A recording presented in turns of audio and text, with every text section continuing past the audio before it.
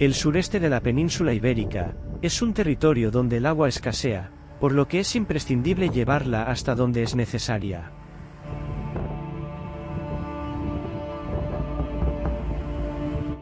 La bomba hidráulica de Ariete, como la que vemos en la imagen, es un invento de hace más de 200 años, que permite llevar agua a cotas elevadas, sin el uso de energía eléctrica, tan solo aprovechando la energía cinética del agua y la presión generada por el mecanismo de Ariete.